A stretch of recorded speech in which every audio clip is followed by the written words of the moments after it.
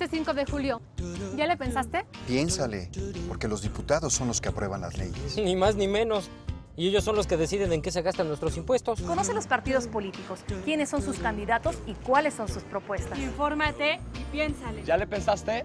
Yo sí, ¿y tú? Intercambia ideas, compara propuestas, infórmate y decide. En estas elecciones, Piénsale y vota, porque así... nuestra democracia crece. Y crecemos todos. IFE, Instituto Federal Electoral.